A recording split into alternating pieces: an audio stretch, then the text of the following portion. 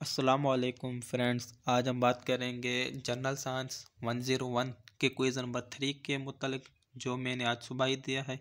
उसके मैंने सारे, सारों के जवाब निकाली हैं। तो आइए मैं आपको इन सारों के जवाब बात बताता हूँ। सबसे पहला क्वेश्चन कह रहा है fungi are virtually the only organisms capable of breaking down cellulose oil lignin या चित्र इसका जवाब है लिंगिन। ये आप नीचे जवाब देख सकते हैं। Fungi are the only major organisms that can break down or significantly modify lignin ठीक है? तो इसका जवाब ये है। दूसरे क्वेश्चन की तरफ़ चलते हैं। Which of the following statements is false अब ये चार आपको स्टेटमेंट्स दे रहा है। इसमें से कौन से गलत है? तो इसका जवाब मुझे भी नहीं पता। अगर आपको पता चल जाए तो मुझे भी बताइएगा, क्योंकि मैंने इनको बहुत ढूंढा है। इस वजह से देर भी हो गई इसे वीडियो को डालने में तो इसका जवाब मुझे नहीं पता। तो अगले क्वेश्चन की तरफ़ चलते हैं। क्वेश्चन नंबर थ्री है। A group of organisms of the same species that interbreed and live in the same place इसको क्या कहा जाता है? इसको कहा जाता है पॉपुलेशन इसका जवाब ये लिखा हुआ है। Population a group of organisms of one species that interbreed and live in the same place at the same time ठीक है? चौथा क्वेश्चन जो हमारा है, enzymes that can break the bonds that hold the DNA backbones together are called. इनों को क्या कहा जाता है? तो इसका जवाब है न्यूक्लियस ठीक है? ये बता रहा है nuclease a nuclease is an enzyme capable of the capable of cleaving the phosphodiester bonds between nucleotides.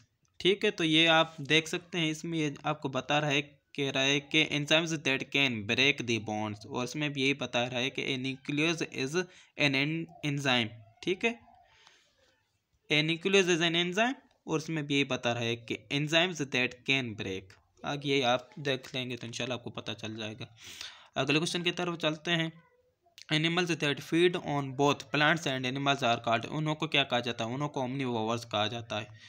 A omnivore is an organism that eats a variety of other organisms including plants animals and fungi ठीक है? अगले question की तरफ़ चलते हैं। उसमें ये बताया जा रहा है कि फंगी रिप्रोड्यूस सेक्शुअली विद तो इसका जवाब है न्यूक्लियर एक्सचेंज ये आप देख सकते हैं, न्यूक्लियर एक्सचेंज ये इसमें ये जवाब दिया हुआ है। ये इंटरनेट से ही मैंने सर्च किया। अगले क्वेश्चन की तरफ़ चलते हैं। The entire planet and all of its living and non living parts को क्या आ जाता है?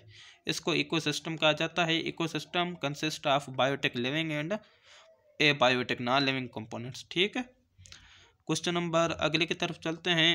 ऑर्गेनिजम्स क्वेश्चन नंबर एट है। हमारा organisms that use energy from from the sun to make their own food जो अपने यानी खुरा खुद बना तो उनको क्या कहा जाता है? उनको प्रोड्यूसर्स कहा जाता है। और ये आप देख सकते हैं। An autotroph is an organism that can produce its own food using light water carbon dioxide और other chemicals. Because autotrophs produce their own food, they are sometimes called producer. यानी कि autotrophs को प्रोड्यूसर्स भी कहा जाता है, ठीक है? प्रोड्यूसर का दूसरा नाम ऑटोटॉप्स भी आपको अभी कह सकते हैं। अगला जो क्वेश्चन हमें बताया जा रहा है, कह रहा है कि there would be no life in the oceans without organisms called dash and dash यानी इसका जवाब कह रहा है कि इन दोनों में कौन सा है? कह रहा है कि there would be no life in oceans ocean में ज़िंदगी, यानी समंदर में ज़िंदगी नहीं होगी विदाउट ऑर्गेनिजम्स यानी बगैर जानवरों के, जिन्हें कहा जाएगा डैश एंड डैश तो इसका जो जवाब है जू प्लांकटन और पाइथो प्लांकटन ठीक है?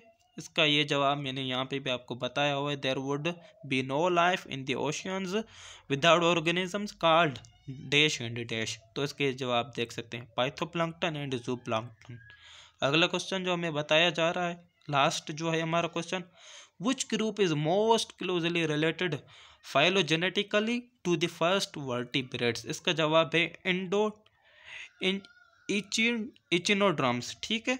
तो ये आप इसका जवाब नीचे भी देख सकते हैं। Which phyla is most closely related to phylo phylogenetically to the first vertebrates ठीक है? तो इसका इन इचिनोड्रमेटा इसका जवाब बता रहे हैं। यानी ये इसी से मिलता जुलता है। अगर आप इसके फॉर्म देखेंगे तो ये इन से मिलेगा। ठीक है?